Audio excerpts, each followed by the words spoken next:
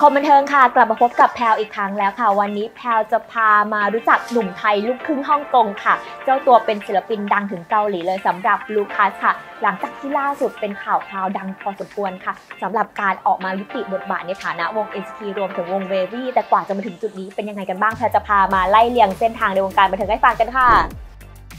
โดยเมื่อช่วงปลายปี 2015 ลูคัสได้ผ่านการออดิชั่นของ SM Global Audition ที่ฮ่องกงค่ะ และได้เข้าร่วมเป็นเด็กฝึกในค่าย SM Entertainment ค่ายเพลงยักษ์ใหญ่แห่งเกาหลีใต้ค่ะ ด้วยรูปร่างที่สูงปราดเปรียวนะคะทำให้เขาได้เริ่มต้นในเส้นทางวงการบันเทิงด้วยการเป็นนายแบบมาก่อนค่ะก่อนที่ลูคัสนะคะจะได้เข้ามาเป็นเด็กฝึกในฐานะ SM Rookie เมื่อปี 2017 ค่ะ และได้มีการปรากฏตัวครั้งแรกในมิวสิกวิดีโอของ10 NCT ค่ะ จุดเริ่มต้นไปแล้วในไม่กี่ปีต่อมาเขาได้เดบิวต์ในฐานะศิลปินเต็มตัวค่ะ โดยลูคัสนะคะได้เดบิวต์เมื่อปี 2018อย่างเป็นทางการในฐานะสมาชิกของวง NCT U ซึ่งเป็นยูนิตย่อยของวงบอยแบนด์ NCT ค่ะ โดยได้ปล่อยผลงานเพลงแรกในชื่อเพลง Boss จากอัลบั้ม NCT 2018 Empathy ค่ะ เจ้าตัวได้ดังไกลในระดับ global ด้วยการก้าวสู่การเป็นสมาชิกของวง w a v y ค่ะ ไม่ใช่แค่ในระดับ global เท่านั้นค่ะ เจ้าตัวนะคะได้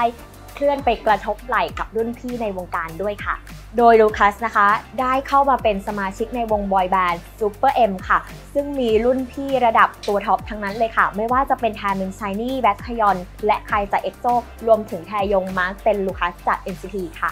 นอกจากผลงานในฐานะวงบอยแบนด์แล้วเจ้าตัวยังเคยมีผลงานในฐานะศิลปินเดี่ยวอีกด้วยค่ะ โดยลูคัสนะคะเคยมีผลงานเพลงเดี่ยวในชื่อเพลง Coffee Break ร่วมกับ Richard b o n a ค่ะ และเคยร่วมร้องเพลงกับรุ่นพี่ของค่ายอย่างแทยอน Girl Generation ในเพลง All Night Long ค่ะ อีกครั้งในปี 2021 นะคะ นับได้ว่าเป็นปีทองของลูคัสเลยทีเดียวค่ะ เพราะว่าเจ้าตัวเนี่ยได้รับความนิยมถึงขั้นที่ใน IG มีผู้ติดตามถึง 10 ล้านคน และปัจจุบันมีผู้ติดตาม 12 ล้านคนด้วยกันค่ะ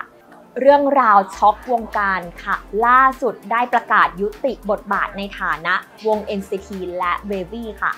เมื่อวันที่ 10 พฤษภาคม 2023 นะคะ ทางค่าย SM Entertainment ซึ่งเป็นค่ายต้นสังกัด ได้ออกมาประกาศยุติบทบาทของลูคัสในฐานะสมาชิกวง NCT รวมถึงวง w a v y อย่างเป็นทางการ และมีการประกาศว่าเจ้าตัวจะมุ่งเน้นในการทำกิจกรรมในฐานะศิลปินเดี่ยวแทนค่ะโดยเจ้าตัวได้กล่าวว่ารู้สึกเสียใจค่ะ หลังจากที่ใช้เวลาถึง 8 ปีกับเหล่าสมาชิกด้วยกันค่ะ รวมถึงความทรงจำเหล่านี้นะคะ ก็ยังตราตรึงในหัวใจเขาต่อค่ะ และขอให้ทุกคนนะคะสนับสนุนเขาในฐานะ